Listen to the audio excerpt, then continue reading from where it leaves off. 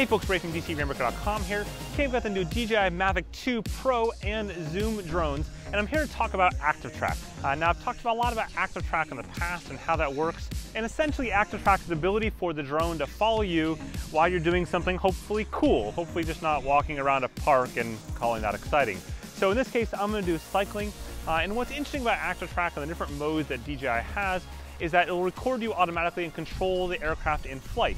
So it's not only controlling where the aircraft's going, but it's following you in your track point, keeping you in focus, all that kind of good stuff. It actually recognizes an object. So you basically tap an object, whether it be a person or a horse or a car, it doesn't really matter, an object, and it goes ahead and it, from a camera standpoint, follows that object. Now in the past, what's happened is it uses the camera on the drone itself uh, to follow the object, and it wasn't all that great. It, you know, you could usually like, again, an open field scenario, walk around just fine and it would follow you. But if you tried like cycling or running, it wouldn't last that long very, very often. It generally, even the slightest tree or something like that, it would lose you. But with the Mavic 2, there's new ActiveTrack 2.0, um, and that's on both drones, whether it be the Zoom or the Pro. And what that does is it leverages the additional optical sensors on the front there to go ahead and track you. Uh, so now you've got these two optical sensors there uh, that's used primarily for object avoidance, plus the camera there, and got, it has three different sources. So it's creating essentially a 3D map of you, where you are, and then from there, DJI is predicting where you're gonna go up to three seconds in advance. So it can look at something like when you go past a tree and figure out where you are, where you're about to go, and hopefully find you on the other side of that tree.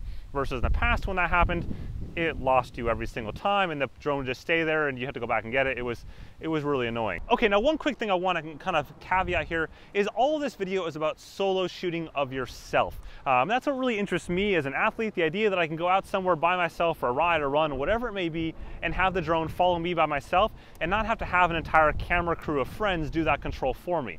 Of course, ActiveTrack can still do that and do that really, really well. In fact, just a little bit ago, I did that with another cyclist where I was following her and controlling some of the movements around that, and I got some freaking epic shots doing that because I had a lot more control about where the camera is as opposed to just letting the drone kind of follow behind me or to the side of me or whatnot.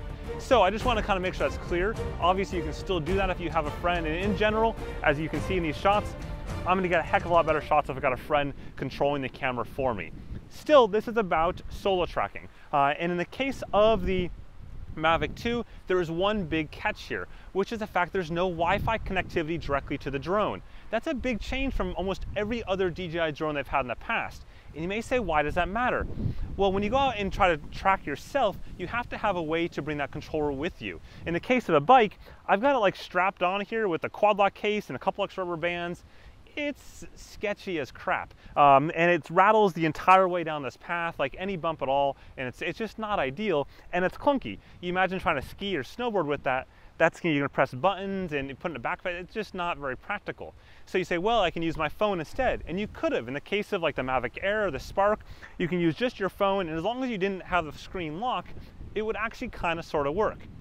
With the Mavic 2, there is no phone connectivity. And that all said, we're gonna go ahead and just talk about how well it actually works and how well ActiveTrack 2 works in terms of obstacles and tracking and just simply riding faster. Here, you can go up to the full 44 or so miles an hour that is the Mavic 2 um, in ActiveTrack mode. Of course, assuming you know winds, all that kind of stuff um, isn't against you which is one caveat here. As you may see behind me, it is really windy here today, but we've had zero problems. We've been out here on our fourth battery now um, with ActiveTrack testing and wind, no problem whatsoever. So with that, what's gonna happen is I'm gonna get this thing up in the air here and I'm gonna show you how ActiveTrack works, some of the profile modes, and I'm just gonna go and ride until this thing stops tracking me. It's as simple as that. Okay, so we got the drone ready to go here. I'm simply just gonna take it off. Nothing special on takeoff, just like normal. Simply find a safe place, up you go. And I'm gonna go ahead and just bring it around the corner here and get it kind of set up uh, facing me.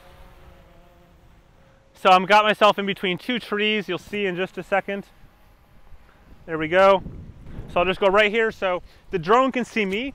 And now what I'm gonna do is I'm gonna go into active track mode itself. So on the controller, I simply hit the little intelligent uh, flight modes option left-hand side there. Then I hit ActiveTrack. And then there's three core modes in ActiveTrack. There's Trace, there we go, sorry, Trace, Profile, and a Spotlight. In the case of trace, it's going to generally track from behind. It can also do in front of you as well. Um, in front of you is sort of a sketchy area though because you can easily outrun it and then if you go under it too closely, a lot of times it'll lose you. That's what we've seen out here today is it'll just simply, if you cut underneath it, it'll kind of lose you. See, you got to kind of go slowly and then it works fine. Profile is from the side just like it's doing right here.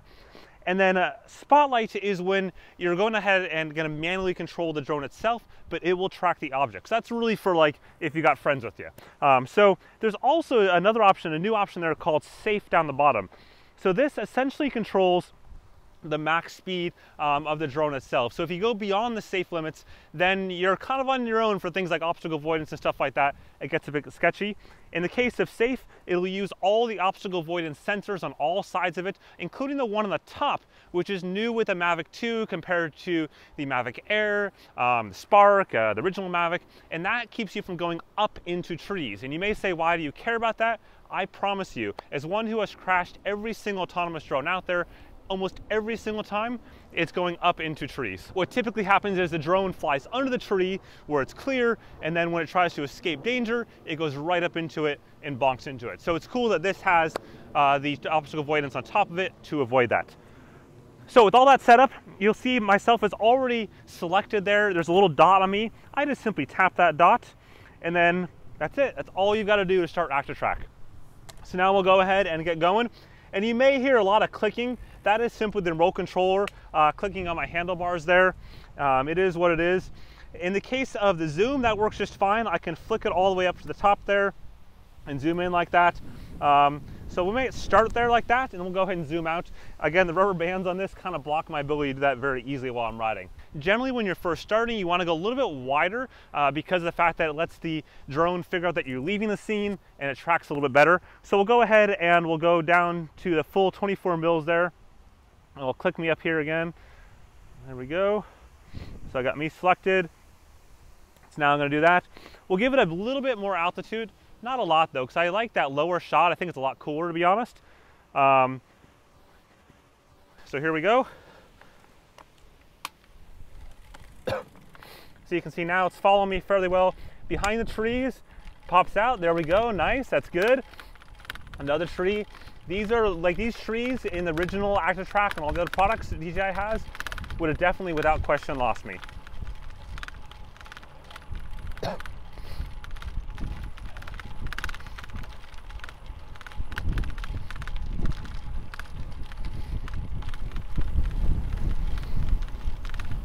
So speed-wise, I'm not going too fast right now, about 13 miles an hour.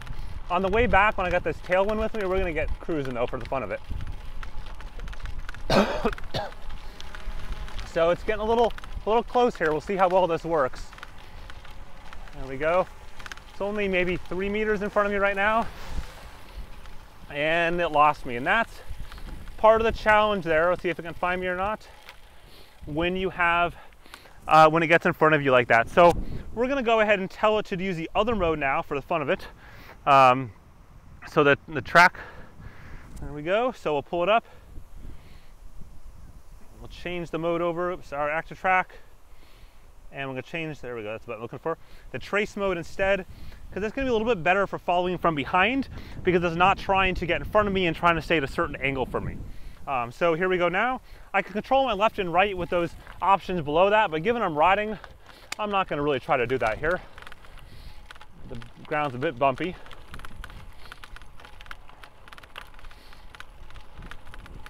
There we go, it's kind of cruising along.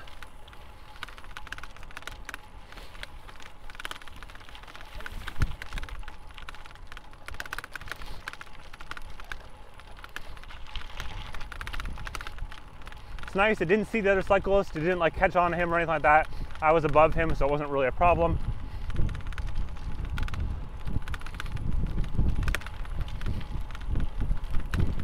No issues though, like it's pulling along. I'm gonna give it a little bit of altitude for the fun of it, just to uh, change the scene up a little bit here. And we just lost it again. So it's not always perfect. I'm gonna go ahead and bring a little bit and we're gonna go back the other direction. Okay, now we got me in, in, the, in the field of view there.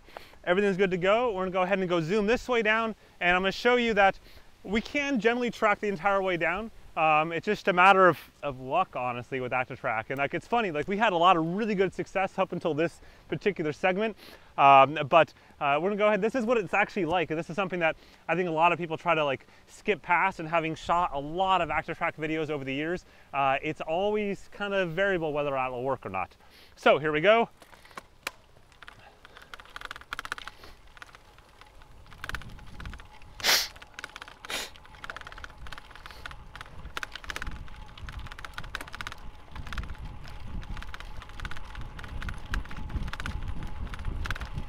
Okay, so we're about uh, 15 miles an hour. We're gonna kick things up a little bit here by not going over the edge of the grass. Cruising on 19, almost 20 miles an hour. Let's go.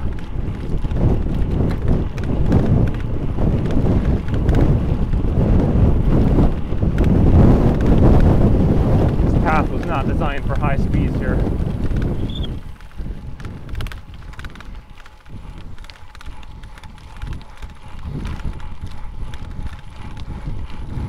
a sprint, see if it'll hold on. And it's managing to. I was up to 25, I think, there or so. So not too shabby.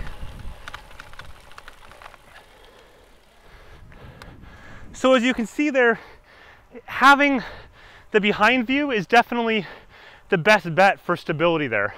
Um, also, uh, right now I'm still in ActiveTrack mode and just simply controlling it left and right around me. So it knows me as the object and it's going around me. It avoid the tree there. It went slightly above it, which is kind of cool. But I can go ahead and just give that perspective change anytime I want. So we're gonna do one more run, just down and back to see how well things work for the fun of it, and then we'll wrap things up.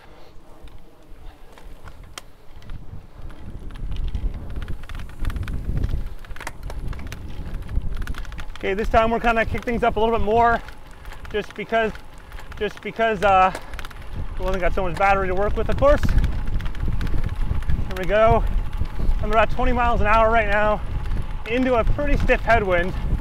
The drone, I'm sure, is noticing as well. Got a bit of a corner here, don't want to skid out on it.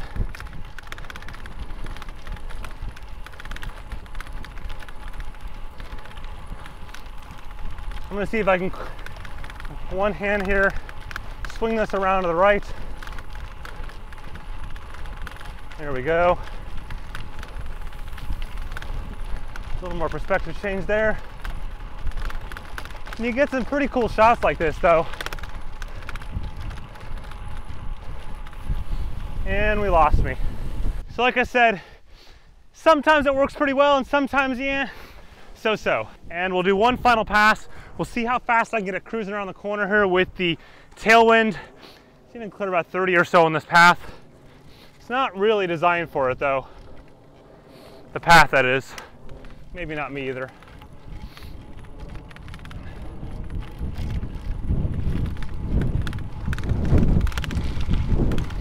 Also, this remote controller is definitely not designed for this.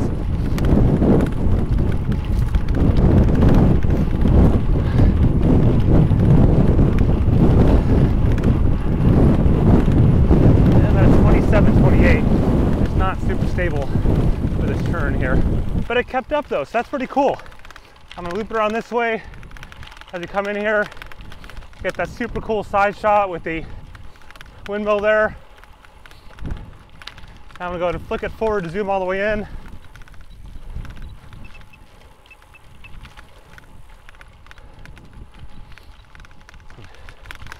And these are sort of super cool shots that you can get um, once you get good at playing with ActiveTrack. Okay, so there you go, a look at the new DJI Mavic 2 in ActiveTrack. As you can see, overall, pretty impressive. They definitely made some bumps up from the past. It's still not to the level of like the Skydio RDO R1 drone, which has its 13 cameras on it and all that craziness that I tested back this past spring. You can check out that video up there. That was crazy cool. It's also twice as much from the price standpoint. That drone is not awesome at all for anything other than tracking you as a sports person. That's it's good at, but it sucks for everything else. That technology that Skydio has is without question the future of where things are going.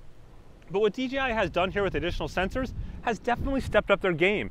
It's at the point now where I could definitely consider for some shots that I need to do, especially when it's not super complex and there's not a ton of tree coverage and stuff like that. Anyways, if you found this interesting, go ahead and whack that like button at the bottom there or the subscribe button. I've got some more Mavic 2 videos coming up here in the very near future you definitely will not want to miss. I've got like a cool, super cool deep dive into 20 different things you probably did not know about the Mavic 2. So if you go ahead and whack that subscribe button, you will get the video as soon as it drops here in the next couple days. Have a good one.